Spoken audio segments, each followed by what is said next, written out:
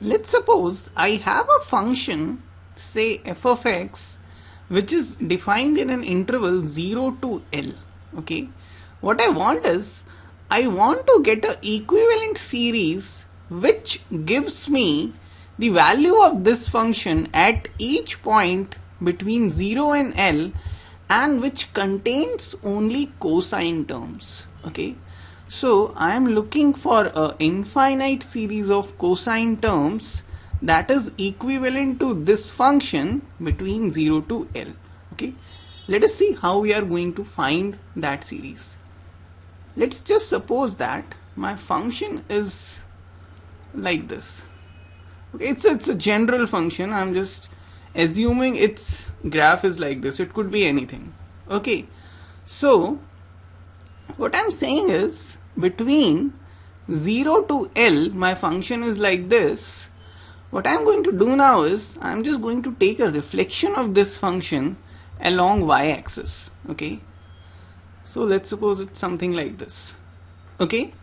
Now if you look at this function if you have a point x then over here you are going to have a point minus x okay and if over here you have a y then since it is a reflection over here also you will have the value of this function as y. Okay? So if you look at this function between 0 to or rather between minus L to plus L let's call this function as capital F of x then if you look at capital F of x which is essentially this function then it is a even function right? Because your capital F of minus x is equal to capital F of x okay? Capital F of minus x is equal to capital F of x. Therefore your F of x is even okay and now if I were to get the Fourier series of this even function between minus L to L I know that it's going to have only cos terms because Bn is equal to 0 in that case. Okay? Therefore your Fourier series for fx in minus L to L is equal to what it is equal to equal to a0 by 2 plus summation n is equal to 1 to infinity n cos n pi x by L okay? Now everywhere where your function is continuous your fx is given by the sum of your Fourier series okay so between minus L to 0 it is equal to sum of your Fourier series and same is the case between 0 to L okay? Just look over here. Your fx in 0 to L is also equal to the sum of your Fourier series which is this guy. N is equal to 1 to infinity an cos n pi x by L. But the point is fx between 0 to L is your this thing which is your small fx okay so essentially what you have got is you have represented your small fx between 0 to L as a series containing only cos terms okay? And this is known as half range Fourier series or half range cos Fourier series okay? Cos series. Over here what is your a0 your a0 is going to be 2 upon L integration 0 to L capital Fx dx okay? And between 0 to L what is your capital Fx it is your small fx so essentially your half range cos series a0 is given by this formula which is the same as the formula for a standard even function okay? Since it is even we have 2 into the standard formula okay? Now your an is what? Your an is 2 upon l integration 0 to l capital fx cos n pi x by l dx and between 0 to L we know my capital Fx is the small fx therefore this is my formula for an for getting my half range cosine series which is the regular formula for a standard even function okay?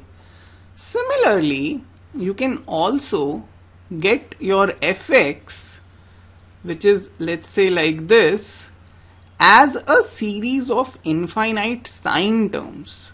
Okay? So now what you're going to do is this is your fx between 0 to L right? You just take a reflection about the origin okay? So you're going to get something like this. Okay now over here if you look at this function let's make it a bit better. Okay. So now if you look at this function let's suppose you have a point x over here and correspondingly you are going to have a point minus x over here okay? So at this point if I have a value of y then at this point I have a value of minus y. Okay? So let's call this function between minus L to L as capital Fx okay? This is your minus L and this is your plus L. So we have created a new function between your minus L to plus L which is essentially even. Why so because your f of minus x is equal to what? It is equal to y or rather minus y and what is your y? Your y is equal to f of x. So what you're getting is your f of minus x is equal to minus y which is essentially odd okay why so because your capital F of minus x is equal to what? It is equal to minus y, okay? And your capital F of x is equal to plus y. Therefore, what you're getting is your capital F of minus x is equal to minus of fx, right? Therefore, your capital F is an odd function and its Fourier series between minus L to L would have only sine terms because a0 and an are both equal to 0 okay? Therefore your capital fx is going to be equal to summation n is equal to 1 to infinity bn cos or rather sine n pi x by L between minus L to L okay? So anywhere where your function is continuous okay your Fourier series is going to be equal to fx. So between this point also between this interval also it is going to be equal to your Fourier series right? Therefore your f of x is equal to summation n is equal to 1 to infinity bn sine n pi x by L in interval 0 to L also okay? And in the interval 0 to L your f of x rather your capital F of x is equal to your small f of x okay? So I'm going to write this as this. So essentially you have expressed your small fx as a series of sine terms okay? Infinite sine terms. And this is your half range sine series okay? What is your bn? Bn is equal to 2 upon l integral 0 to l capital fx sine n pi x by l dx. And because capital fx in interval 0 to l is small fx you get the formula which is this okay which is similar to the formula for your half range cosine series okay. So that's how you express a given function in the interval 0 to L as either a half range sine series or half range cosine series. Okay